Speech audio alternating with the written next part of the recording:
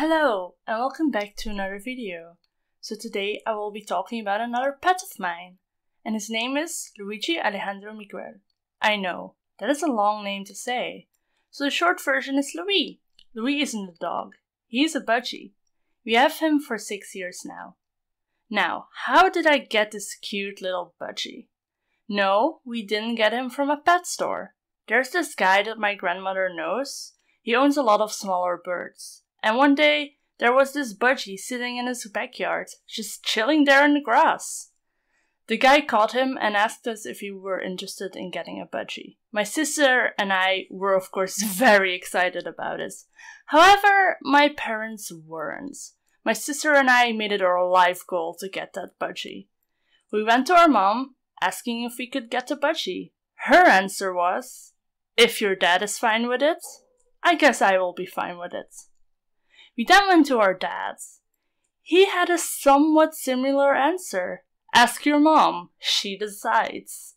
This was a moment of rage for me. I think it took a week or two before they finally agreed. I was so happy to finally have my own budgie. Now the name came pretty easily. I think my sister came up with it. I thought it was a pretty funny name, so I agreed with it. We weren't sure how Twinkle would act around him, Louis was braver than I thought.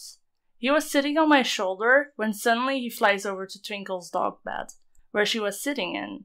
She was more scared of Louis than he was scared of her. Louis was just casually sitting there looking at Twinkle, while she was just looking at me like, please save me. Louis was a social bird in the beginning. He would always sit on my keyboards when I was watching a video. Most of the time, I would move my cursor around the screen.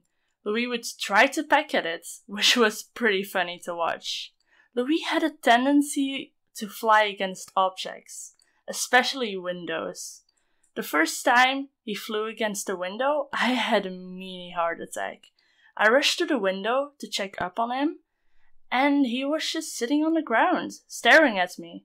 I quickly picked him up, and he was totally fine. It happened a few more times. Of course, I was always a bit scared if something happens.